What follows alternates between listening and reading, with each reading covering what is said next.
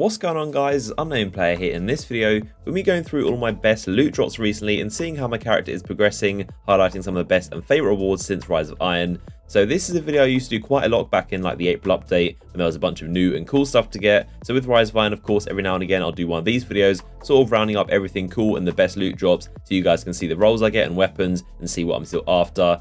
So in this video, we've got some Skeleton Key Hoard chests, some Crucible and Vanguard packages, the new Shaxx True Meaning of War bounties, some Cryptarch engrams, and also my raid loot. The only thing we aren't going to be looking at in this video is of course my trials loot because I've already done a whole video on that going through absolutely everything I've got from my flawless run from the lighthouse chest. If you want to see my trials loot that'll be in the description. But for now let's go through everything else I've gotten recently starting off with the skeleton keys. So this has been pretty interesting. Of course you guys know I've been after a good Imago loop for a very very long time. I've been after that Fatebringer roll so whenever I use my skeleton keys I'm always using it on either Restorative Mind or the Undying Mind. So of course I also need an artifact really really badly. It was like my lowest thing at like 370 and everything else is like 380, 385. So my artifact is massively holding me back. So all I really wanted was an artifact, but I'd definitely settle for an Imago loop as well. And of course you can get both from the skeleton chest. So when I did the restorative mind, I managed to get gauntlets and also a cloak, which is a massive troll. Literally, I was hoping for one or the other, even an Imago or an artifact, or both if I was lucky, but I got neither, just a pair of ugly warlock arms, which is really disappointing. And the next one, I managed to open up Undying Mind once again, hoping for an Imago loop, and all I got was an artifact. So I was happy I got an artifact finally. It was 381, which is a massive boost to my character, and I can progress. But unfortunately, I did not even get an Imago loop. I got the ugly mark, probably the ugliest item in Destiny. Absolutely hate this green thing, but regardless, I still got an artifact, so it's decent. But skeleton keys don't seem to be that kind to me anymore. They seem to be a little bit difficult to get the Imago loops, especially. And it seems like all I'm getting is these class items or ugly armor pieces for other classes. But at least I'm happy I got an artifact, so that can definitely boost my light level. So next up, let's look at Shaxx and a bunch of stuff I've gotten from Crucible in general, from packages, from rank up rewards, and a bunch of other stuff.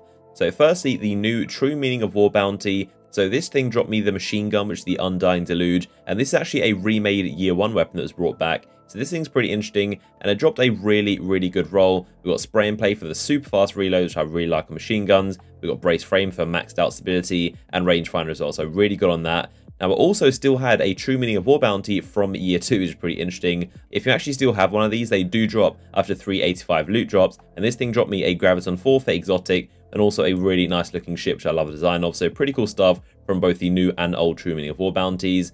Now next up, I'm also going to show you what I got from my Shaxx quest line, where you get to choose three weapons. I actually went for the Sniper, the AMR, the Matador I would go for, but the roll is really bad. It's basically got no range, so there's not much point in using it. The Sniper at least is usable, it's got short gaze, so it's a really good weapon, but the Matador I don't think is much use. I'm going to hopefully try and get one after a Crucible game, but knowing my luck, it's probably not going to happen. Now next up, moving on to the Crucible packages. So the first one, I got a Lord High Fixer hand cannon, a really cool weapon with the right range. This one came with hidden hand and also only hammer forged the range, so not too good.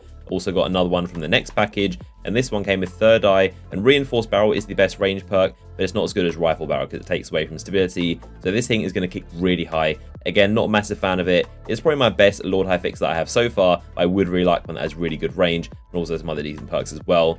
In my next Crucible package, I got a Zombie Apocalypse. This thing, not too great roll. We got Counterbalance and also Hot Swap. And I also got this really cool cloak from year one, and it's got one of my favorite flavor texts on a cloak. It's really cool. It's basically describing this hunter that went around killing a bunch of other hunters and then took their cloaks and forged it into this one. So it's like this massive collection of all the hunters that have killed, which is pretty cool. So really awesome cloak right here.